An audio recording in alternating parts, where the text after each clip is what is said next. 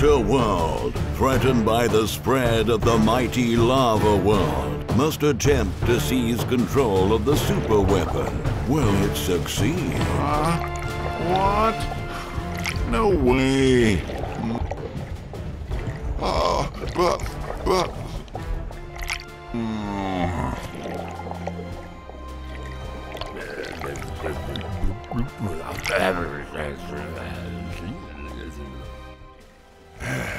Hmm. I hereby declare this meeting of the Blubber Council open.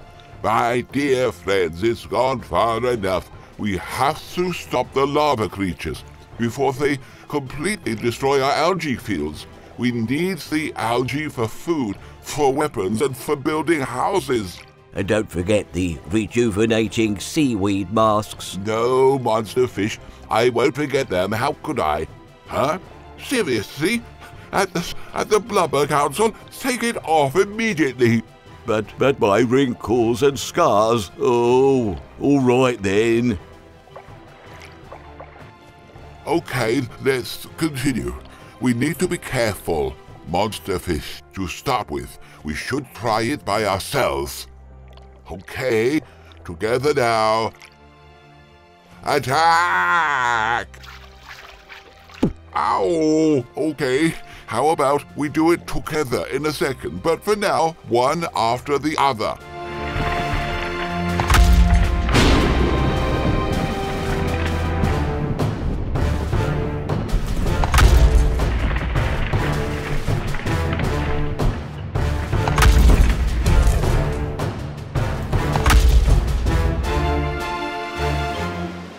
Okay, now let's see.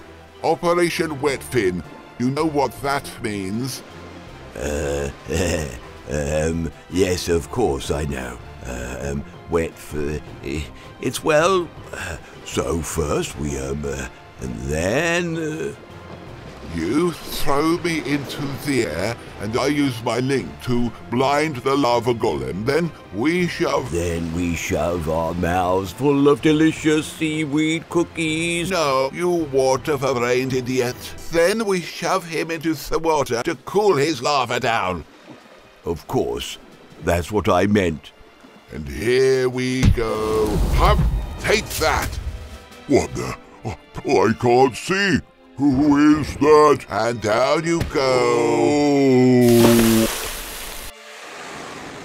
Fantastic! The lava golem is out cold. Oh no, the lava golem has been extinguished.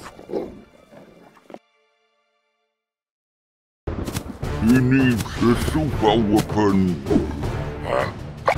Oh, oh! Watch out, Monster Kraken! The lava golem has the weapon back.